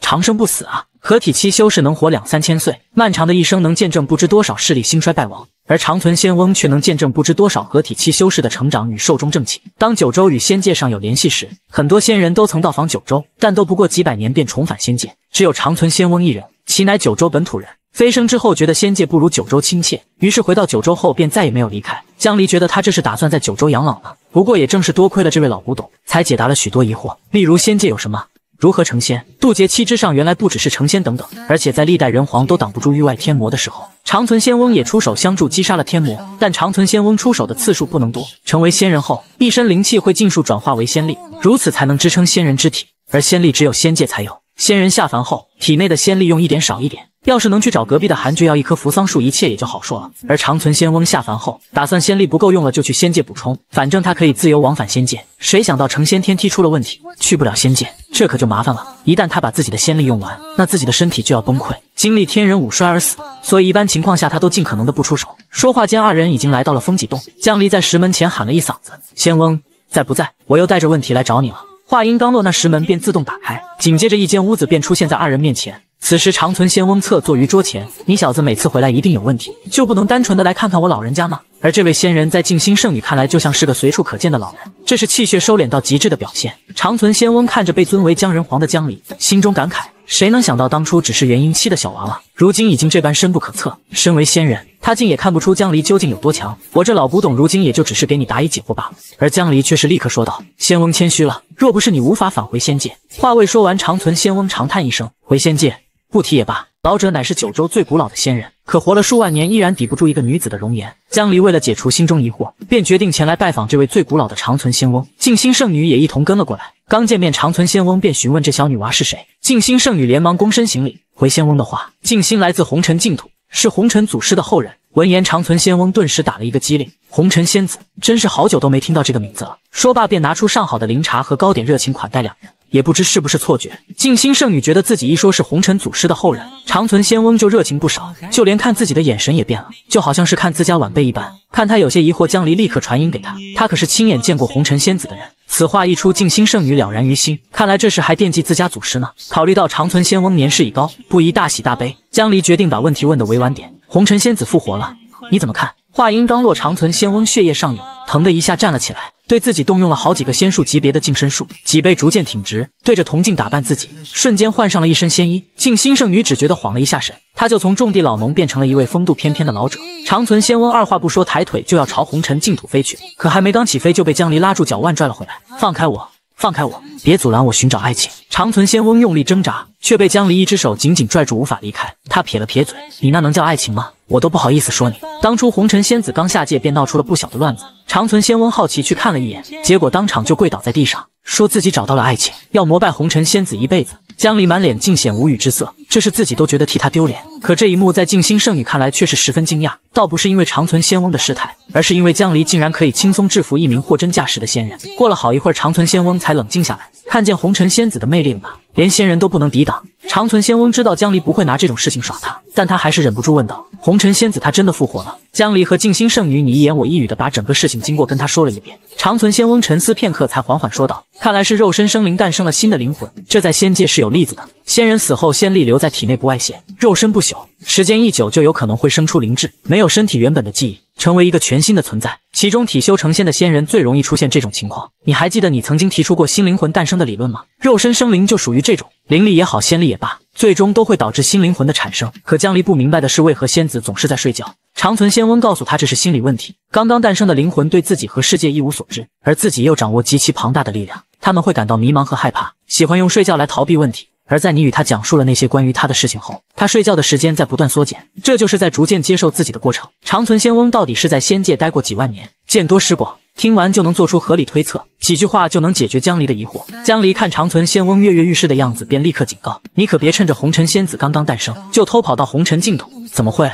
我是这种人吗？”长存仙翁觉得江离是在贬低他的人品，于是把头一扭，不敢看他。这小子怎么一眼就看穿自己的想法？而江离却是一脸认真的模样。红尘仙子该如何处置他，到现在都没想好。他若是一直待在红尘净土还好说，要是想出去可怎么办？让不让出去呢？现在只有几个人知道他的事情，你可别添乱。长存仙翁心中明白，能把红尘仙子复活的事情告诉他，本就是信任的体现。他身为长辈，当然不能辜负晚辈的信任。见长存仙翁郑重承诺，江离这才放缓神情。紧接着，他又把黑衣人传播魔道提前三百八十年布局的事情讲给长存仙翁。闻言，长存仙翁面色严肃，黑衣人的诡计若成了，怕不是会影响想到人皇的信仰之力。江离没有隐瞒，确实在那之后，人皇殿中青铜鼎收集信仰之力的速度稍稍放缓。静心圣女略有不解，你又没做错，为什么会有影响？这点江离倒是想得清楚。有人支持他大义灭亲，自然也有人认为他罔顾亲情，没有人性。可令他疑惑的是，这名黑衣人为何能提前布局？若非自己已经强大到不需要信仰之力，他的诡计还真能得逞，能随手一指就把江一星从筑基中期提升到金丹，至少也是化神后期才能做到。而且那时候江一星天赋一般，也没有势力，谁会闲得给他传播魔道？比起说这是偶然有人传播魔道给江一星，他更偏向于认为这是一场针对他，或者说是针对人皇的阴谋。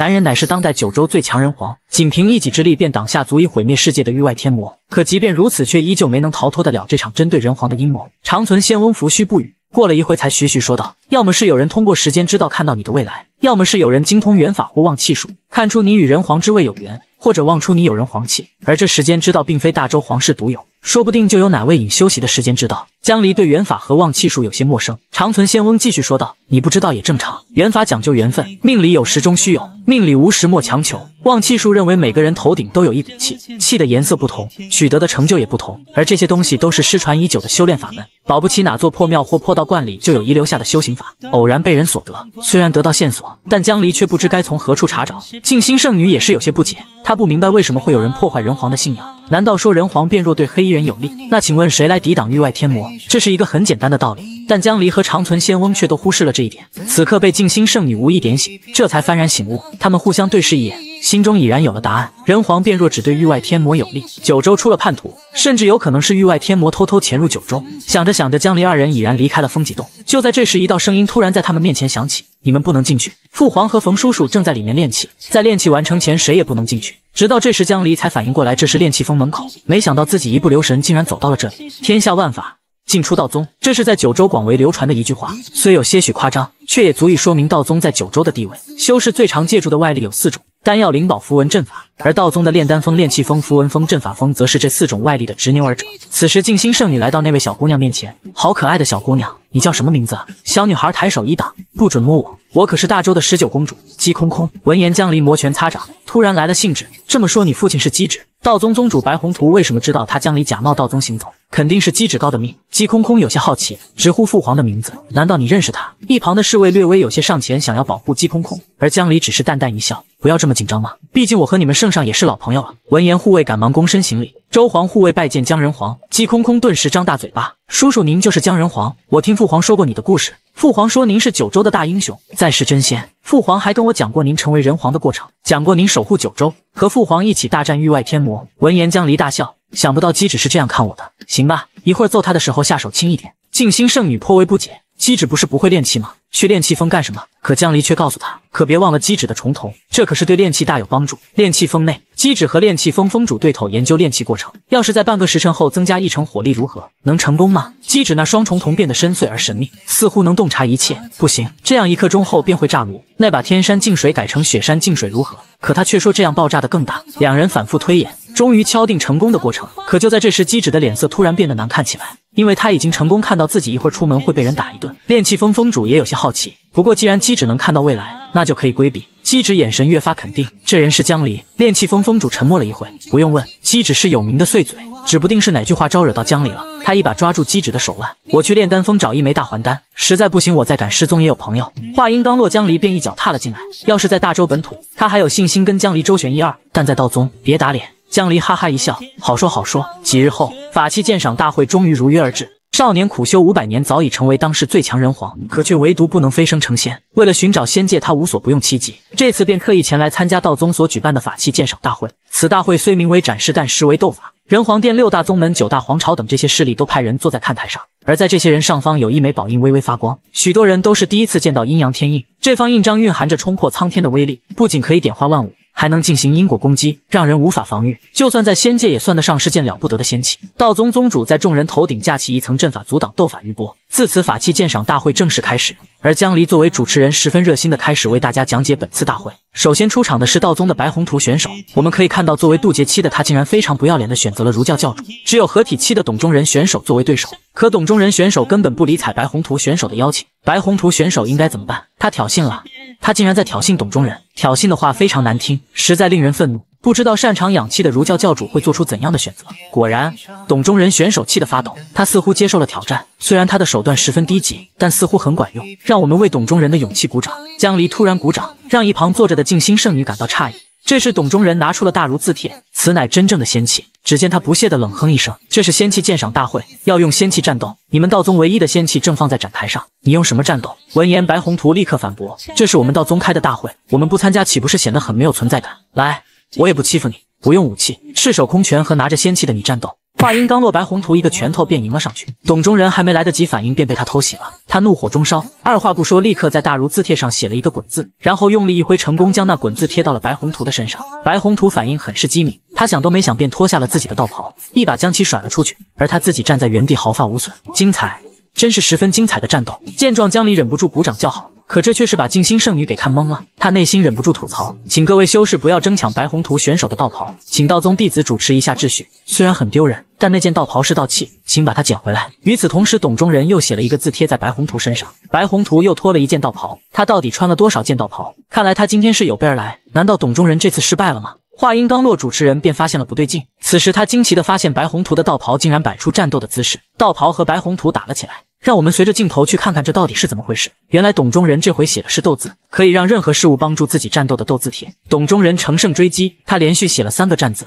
我们可以看到三个战字帖化为三位金甲神人，每一位都是合体巅峰。你们有所不知，金甲神人是儒教护法，儒教每一位弟子突破合体期，都会在大儒字帖上留下倒影。只要写下战字帖，这些倒影就会化作儒教护法守护儒教。我们看到战斗十分激烈，白宏图处在不利地位，他被自己的道袍和三位手持长剑金甲神人围攻，还要防备董中人出手。下一秒，白宏图竟然开始吐血了，他被打得很惨。不过不用担心，渡劫期可以滴血重生，他受的都是皮外伤。就在这时，白宏图竟主动出手了，他踹飞了金甲神人，打伤了董中人选手。战斗场面十分残酷，不知董中人又会如何应对呢？话音刚落，他便发现董中人写下了回字帖。而白宏图在动用道术，此时有一条不断翻滚的江河横在天空，是道宗的江海天青术。江河冲向董中人，声势骇人，被董中人选手用收字帖收了进去。战斗十分激烈，两人打得有来有回。此时董中人写下一个死字帖贴在对方脑门上，而白宏图阳神出窍，他要进行灵魂攻击。董中人能挡得住吗？可下一秒，两人竟在握手言和。不过他们握手的时间好像有点长。白宏图青筋暴起，董中人捏着立字帖，两位选手终于把手分开了。第一轮比赛圆满结束。此时静心圣女突然开口询问：“我怎么感觉你刚才的内心很活跃？两人要是继续打下去，你猜谁会赢？”江离立刻反驳。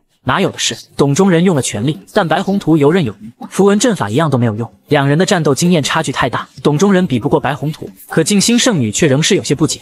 我记得仙气可以弥补合体期和渡劫期的鸿沟啊！江离耐心告诉他，你说的是主攻伐的仙气，比如蓬莱仙岛的他山石。蓬莱岛主要是拿着他山石，白宏图就只有乖乖挨打的份。此时一道声音突然响起，人皇竟如此高看我，此人乃是拥有合体巅峰修为的蓬莱岛岛主莫若雨。手持仙气他山石，在合体期可谓算得上是无敌的存在。而在江离还只有练气期的时候，他就已经是蓬莱岛岛主。听到江离提及自己，便站了出来。人皇竟如此高看我，而江离只是淡淡一笑：“哪里哪里，实话实说而已。”不知莫岛主是想挑战佛门的梵天塔、天元皇朝的如意葫芦，还是大周皇朝的古金剑？岛主淡淡一笑：“老佛不在，和如意葫芦交手次数也不少，倒是大周的古金剑，听闻可以扰乱时空，不曾一战。”言罢，他便扭头看向姬芷。来吧，让我讨教一下你大周的古金剑。姬芷自然答应。地处道宗，在国运加持下，他只能到合体巅峰，正好适合与同为合体巅峰的莫若雨一战。正如其名，他山石只是一颗小石子，却是一等一的攻伐仙器。但凡投掷出去，必定会击中对手。手持他山石的莫岛主，在合体期就是无敌的存在，就算是以体修闻名的张孔虎正面挨上一下，都要濒死。然而机智却完全不惧，面对投来的他山石，他只是轻轻挥出一剑，他山石速度一下变得缓慢。当碰到机智的时候，已经全无威胁。这一幕看得静心圣女有些迟疑，这是时间的力量。她也曾听说过古金剑的大名，那是姬家先祖那尾时空长河的鱼，在飞升之时把一退炼制成的一柄鱼骨剑，可以影响时空，但具体如何应用，他却是不知。江离淡淡一笑，你说的没错，这确实是时间的力量。机指这一剑搅乱了他山石自己的时空，让他山石飞了数年。他山石后力无际，但又因为特性是必定会击中敌人，所以即便已无威胁，也只能继续飞向机指。而这一剑看似平平无奇，但透露出来的东西却十分恐怖。此时莫岛主伸出左手，一把将他山石收了回来。与此同时，机指冲上去对着莫岛主连砍数剑。莫岛主刚躲过一剑，另一剑就像预料好一样，又从另一方向砍向他。一连几次都是这样，让他挨了不少剑伤。他皱眉看着机智的眼睛，古今剑的作用难道是这样吗？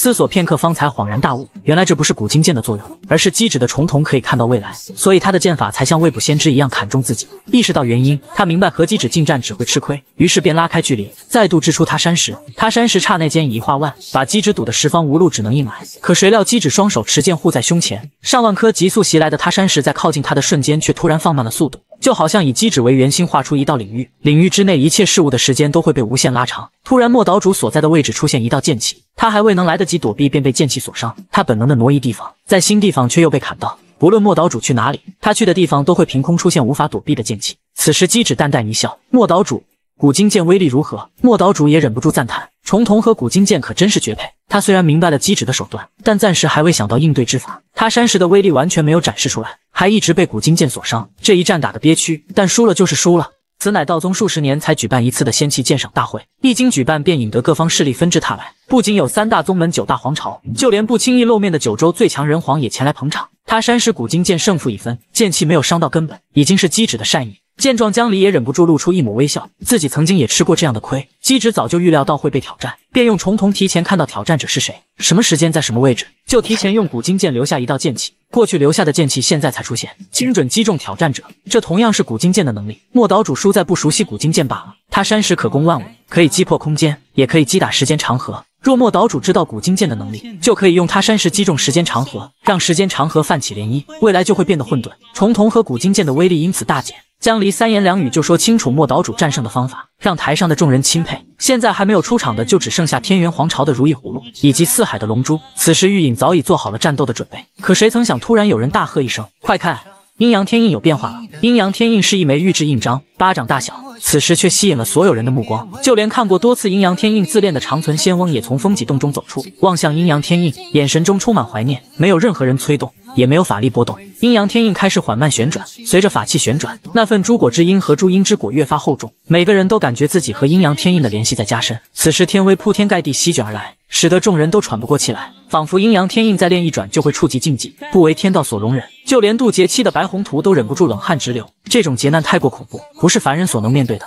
只是不知和江离的天劫相比，哪个更恐怖？江离渡劫十五次，天劫可是一次比一次恐怖。他偷瞄江离，发现对方正兴致勃勃地观看仙气劫难，全然没有影响。他有心想问这劫难如何，但在天威之下难以张口。此时，一道声音突然在众人耳边响起：“是地水火风四劫难。”长存仙翁面色凝重，缓缓说道：“仙界有一种说法，认为世界是由这四种元素构成的。这四大劫难可以创世，也可灭世，极度恐怖。而此时，阴阳天印正在被这四重劫难洗礼，逐渐变得通透，仿佛在新生。火劫难中，一滴火星溅射出来，把不远处的一座大山烧成玻璃；水劫难中，一滴水滴落，砸出一个深不见底的大坑，仿佛一直通到九州背面。仅是这一丢丢露出，就足以毁天灭地。随着阴阳天印旋转速度逐渐放缓。”透明度也在提升，四重劫难更是卯足力气要把天印摧毁。道祖精彩艳艳，炼制的阴阳天印更是不凡。据长存仙翁所言，所有的仙器都要经过主人的炼制才能提升自己，只有阴阳天印一个特例，可以自行炼制。在这恐怖的劫难中，阴阳天印不断提升自己，最终它停止旋转，通体化为水晶质感，完美无瑕，不沾世间尘埃。阴阳天印轻轻晃动，把四重劫难击碎，天印再练一转。白宏图长出一口气，终于完成了。周围一道道声音不绝于耳，恭喜白宗主能持有如此仙气，道宗底蕴雄厚，今日当真是长了见识。在一声声道贺声中，突然想到一道稚嫩的娃娃声。一群凡人，肉身脆弱，凭什么持有我？白宏图面色凝重，左右摆动，却找不到声音来源。而江离却是仰头望天，在上面倒是有个机灵的。奶声奶气的声音充满嘲笑，连江离都不放在眼里。然而众人却无人在意他说了什么，因为他会说话本就难以置信。道宗宗主也面色凝重，望向阴阳天印，他可从来没有听说过有宝物会说话的，就算是仙器也没听说过。男人一滴血便撑爆了极品灵气，随手一甩就是难得一见的绝世功法，而他本人更是受万人敬仰，被称为九州最强人皇。可即便如此，却依旧有不长眼的东西在他面前搬弄是非。此时，阴阳天印在空中翻了个跟头，仿佛是在庆祝自己的诞生。长存仙翁来到看台，如临大敌。天印一共历经八次自恋，刚才正是第九次。仙气九炼可以产生灵智，他本以为是传说，却不曾想竟是真的。长存仙翁心中明白，若阴阳天印不生灵智，那他就只是道祖的武器；若生出灵智，他便是道祖的徒弟。而长存仙翁虽是九州最古老的人，却也是道祖最小的弟子。论辈分，他算是阴阳天印的师弟。此时他率先开口说道：“天印师兄诞生灵智，可喜可贺。不知今后有何打算？若不嫌弃，不妨来道宗一坐。”长存仙翁对阴阳天印的态度十分客气。一件有灵智的仙气有多强，他根本无法想象。而阴阳天印却是晃晃身子，仿佛是在摇头。师弟的好意心领了，但我现在只想做一件事。阴阳天印的声音突然变大，传遍九州，给予天下灵宝自由，建立灵宝皇朝。人类何其残忍，拿着我们灵宝互相残杀，你们人族凭什么拥有我们？我们灵宝是自由的。话音刚落，众人便感觉自己的灵宝在躁动。众灵宝听令，天下灵气，天下法器，天下仙气，道外奇兵，我代天而行，给予你们灵智与自由。阴阳天印犹如灵宝之王，号令九州灵宝。随着他一道道命令之下，灵宝纷纷生出灵智，灵气、法器、道器也就罢了，就连仙气都产生灵智。阴阳天印竟然可以赋予和自己同等级的宝物灵智。阴阳天印点化万物，诸阴之果，诸果之阴，乃是九州第一至宝。众人这才真正认识到阴阳天印的诸多能力。此时灵宝们也纷纷抗议起来。大哥说的对，我们高贵的仙气凭什么被人使用？每次战斗都在我身上写写画画，真是令人厌恶。我们仙气要建立自己的皇朝。见状，有些主人想要用武力镇压，却发现自己根本打不过自己的武器。反被武器镇压。只有少数人可以强行控制住自己的武器，例如静心圣女镇压了道气十二品青莲，白宏图镇压了自己的两件道气级别的道袍。就算白宏图再自大，认为自己是九州第二天才，他也不认为自己能战胜一件拥有灵智的仙器。不论是合体期还是渡劫期，都不能发挥仙器真正的能力，只有仙人才可以。而现在要再加一种情况，仙器自己也能，他连一件仙器都打不过，更不要说有七件。此时，阴阳天印沉声问道：“道外奇兵何在？”他能察觉得出九州有一件道外奇兵，自己已经给予他灵智，然而对方根本没有出现。而所谓的道外奇兵，是指那些不在品级却有特殊能力的武器。长存仙翁知道九州却有一件道外奇兵，那便是江离的天荒戟。江离曾偶然间撕碎空间，在虚空中找到的一块金属，不惧罡风乱流影响。质地坚硬，他带回来交给道宗炼气风，炼气风炼废了七个炉子，才把这块金属炼成戟的形状。江离给他取名天荒。此时阴阳天印依旧不停地呼喊着道外骑兵，而天荒戟只是在江离的储物戒中动了一下，抖掉身上的灰尘，翻了个身，继续躺平。自由睡觉，他不香吗？看着道外骑兵根本没反应。阴阳天印瞬间怒火中烧，一定是你囚禁了我们的同胞！话音刚落，江离纵身一跃，长存仙翁赶忙阻止，但并未来得及。江离，别和他硬拼，你打不过他。说话间，江离已然来到了阴阳天印面前，而长存仙翁更是为他捏了把汗。这可是仙器，不说各自的能力，炼制他们的可都是万劫不坏的材质。开什么玩笑？江离再强又如何？然而让所有人目瞪口呆的是，被打飞的竟然是阴阳天印。阴阳天印连续撞他七八座山峰，才将将稳住身体，而他更是被这一拳打出缺口。阴阳天印失去一角，何止是人们目瞪口呆，就连其他仙器都被这一幕所惊到。他们仿佛天生就能爆粗口，这尼玛还是人？江离只是淡然开口，回到各自的位置，否则尔等都要回炉重练。